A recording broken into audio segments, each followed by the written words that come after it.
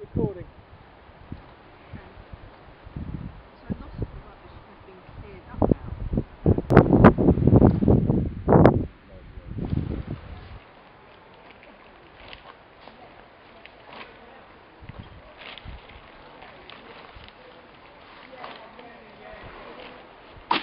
They've obviously done the infrastructure damage, so the fences and the gates. They've cut trees. Um, they've dropped a lot of litter, a lot of dangerous litter as well, broken glass, gas canisters, etc. But the main harm that I can see is the damage that they've done to the actual habitat. They've trampled, they've driven on the heather, they've ruined young heather plants that are going to die because of the compaction that they've caused. Lake